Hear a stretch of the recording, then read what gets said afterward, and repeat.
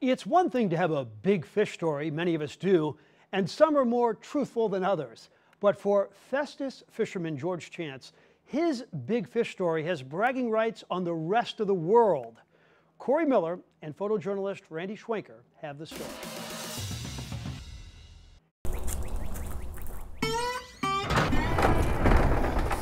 It's easy to see what George Chance is passionate about. My fishing cabinet, inside and out. And that passion for fishing is genetic. Uh, it was just the very first memories I ever had was fishing with my dad. And I, I loved it from the first, from the time I can remember, I loved to fish. And we'd go down and fish till dark, then he would, a quarter of a mile down the creek, he'd put me on his shoulders and carry me back after dark so I wouldn't get all wet coming through the weeds. You could even say fishing is almost religious for Chance. And there were even times in the now 78 year old's working career that fishing cost him a job. Ended up getting terminated for fishing. I fished the creek at lunchtime. There was other issues involved, but they terminated me for fishing. And my, and my wife had been expecting it. Talks to jigs here I may need to use later.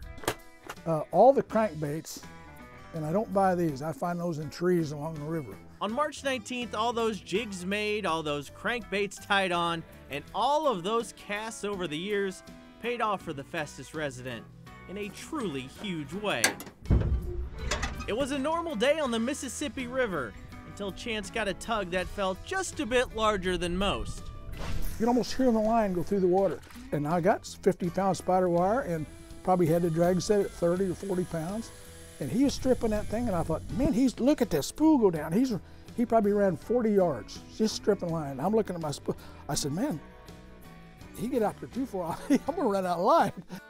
He didn't know it yet, but Chance had hooked a 97 pound big head carp. After a 20 minute fight, the angler got the fish on land.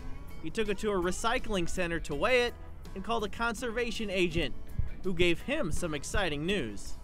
And so he told me right there, he said, Well, you got a state record. I said, You're kidding. He said, No, you got a state record. Well, I'm home the next day and Jeff City calls.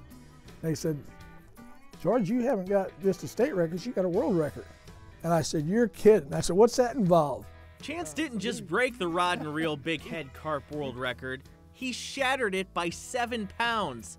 The fish was even bigger than his wife. Bigger girth than her and weighs more. I had buddies when I sent them a picture earlier, they, three of them thought it was photoshopped. I wouldn't say it's real deep, but it's plenty to cover a big fish. You know, yeah. Now the angler has a story for a lifetime and a world record to prove it. My wife said, "You're gonna have to get a bigger head." I said, "Babe, my head, my head wouldn't get big if I won the lottery." I said, "But I can't stop grinning." you know, about I think that is so cool. That that's unbelievable. You know, all the thousands of casts I made and. And as for the fate of the fish, yeah, and that one was full of eggs. Yeah. It would have spawned I mean, massive bunch of eggs, like double handfuls of eggs. Oh well, it is an invasive species, but still found a purpose to serve, fertilizing Chance's vegetable garden. That's about a 40 foot row from here, this little stake, to that stake down there, the little summer one, and it's fish touching one another all the way through there. And with one world record already in the bag, you bet Chance is planning for the next one.